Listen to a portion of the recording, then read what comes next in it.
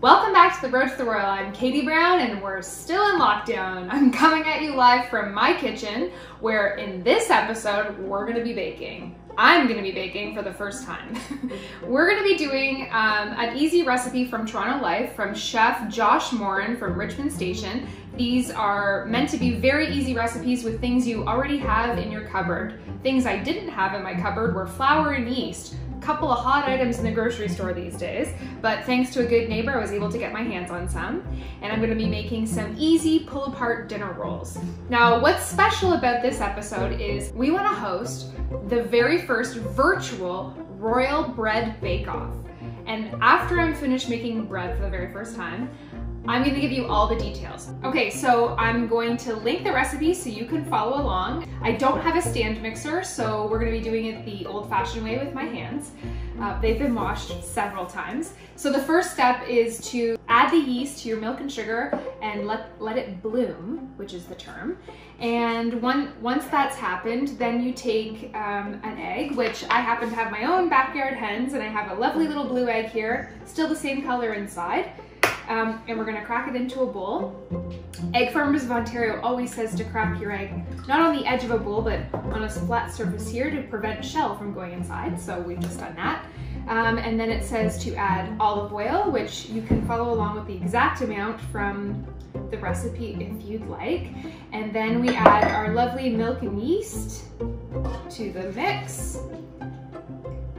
And combine. It's hard to say if I'm even using the right utensil here, but it has a cat on it, so I couldn't help myself. Okay, so I believe this is combined. And then now it says we have to add the flour and the salt into the mixer. So again, no stand mixer here, but I do have hands and my trusty cat spoon. and salt. Okay. Today we won't have to do an internet workout video because I'm getting an arm workout here. Okay, so it's been five to seven minutes. My arms are completely exhausted. Um, and it's time to move our smooth mixture into um, a well-oiled bowl. Um, so here's our hopeful little mixture. And we're gonna put it into a bowl. So we're gonna cover this and we're gonna let it sit for an hour to an hour and 30 while it rises. Okay, so an hour and 15 minutes has gone by and she has risen.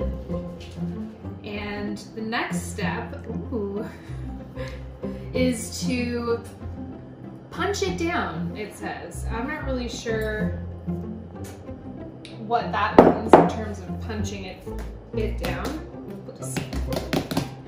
Do this. Looks kind of like the picture. All right, punch it. Now it says we have to pinch these off into 15 equal parts.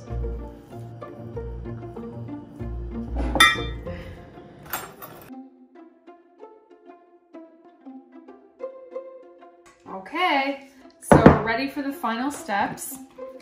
We're gonna get our salt ready and our butter. And so apparently butter makes everything better. And you're supposed to slather the butter on, of course, with a cat spatula.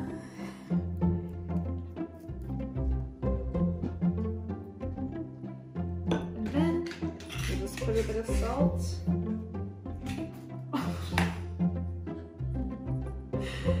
that should do.